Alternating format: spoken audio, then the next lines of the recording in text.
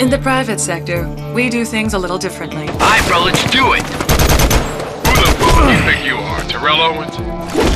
Alright. It isn't just about following orders.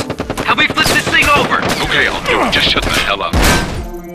It's about taking definitive action Watch yourself. Take cover. and finding innovative solutions. What the fuck are you doing?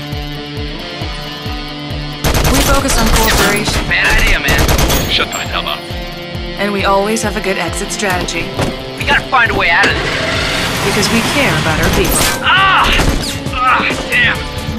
Fuck, this hurts. All right, let's get out of this thing. You see, overcoming obstacles is our business. And business is good.